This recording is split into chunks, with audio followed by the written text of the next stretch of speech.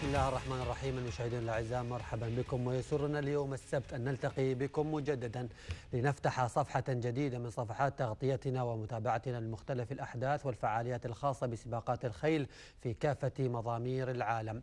ولقاء اليوم يتم من خلال استديو السباقات حيث ننتقل سويا إلى مضمار عريق طالما احتضن طوال تاريخه الطويل نماذجا من السباقات ما زالت ذكراها محفورة في العقول وفي القلوب. مضمار دونكستر هو وجهتنا اليوم عبر استديو السباقات الذي نقدم من خلاله قراءة تحليلية شاملة ومتكاملة عن مجريات ومتابعة السباقات كما ستكون لدينا تغطية خاصة إلى فعاليات مضمار ليوبردستاون في إيرلندا ونقل وقائع وأحداث سباقات سباق الشامبيون الإيرلندي العريق.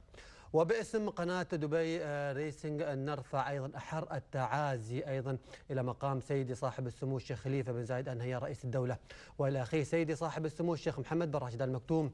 نائب رئيس الدولة رئيس مجلس الوزراء حاكم دبي رعاه الله.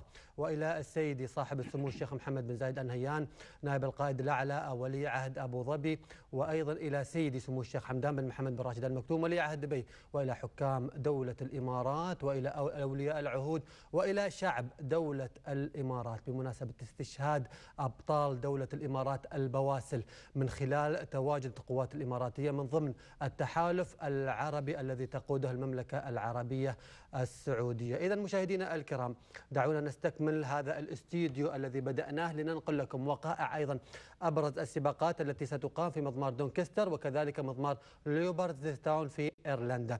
يسعدنا أن نرحب بمحللي قناة دبي ريسنج المتواجدين معنا هنا في الاستديو مرحبا بك يا عبد الله. مرحبا عصام. طبعا نرفع التعازي لمقام صاحب السمو رئيس الدولة.